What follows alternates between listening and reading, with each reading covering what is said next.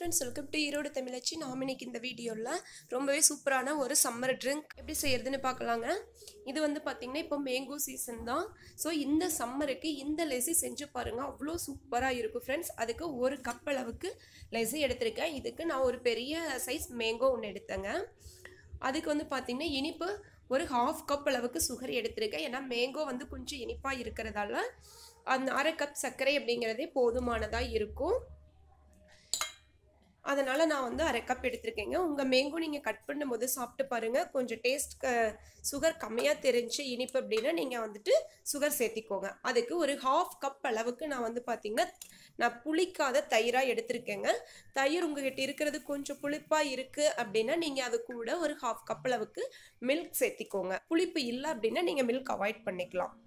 அதுக்கு ரெண்டு ஏலக்காய் எடுத்திருக்கேங்க. அந்த ஏலக்காயில் உள்ளே இருக்கக்கூடிய அந்த சீட்ஸை மட்டும் சேர்த்திக்கோங்க.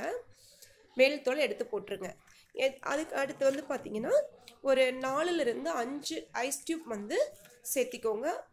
இது வந்து உங்களுடைய ஆப்ஷனல் தான். நான் கொஞ்சம் நல்லா ஜில்லுன்னு இருக்கணும் அப்படின்றதுனால நான் வந்து ஐஸ் டியூப் எடுத்திருக்கேன்.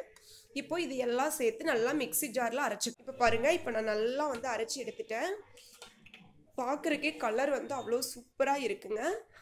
இவ்வளோதான் ஃப்ரெண்ட்ஸ் நம்மளோட லேசி ரொம்ப சூப்பராக வந்து ரெடி ஆகிடுச்சு இப்போ இதை நம்ம வந்து அவ்வளோதான் ஃப்ரெண்ட்ஸ் லெசி வந்து ரொம்ப சூப்பராக ரெடி ஆகிடுச்சு ஜஸ்ட் ஒரு ஒன் மினிட்ல நம்ம அந்த லெசி வந்து செஞ்சு முடிச்சிடலாம். இப்போ பாருங்கள் நான் ரெண்டு டம்ளருக்கு வந்து கரெக்டாக இருந்துச்சுங்க. இதுக்கு நான் ஜஸ்ட் மேலாம் வந்து டெக்கரேட் பண்ணுறதுக்காக அந்த மேங்கோனுடைய பீசஸும் முந்திரி பருப்பும் நான் வந்து எடுத்திருக்கேன்.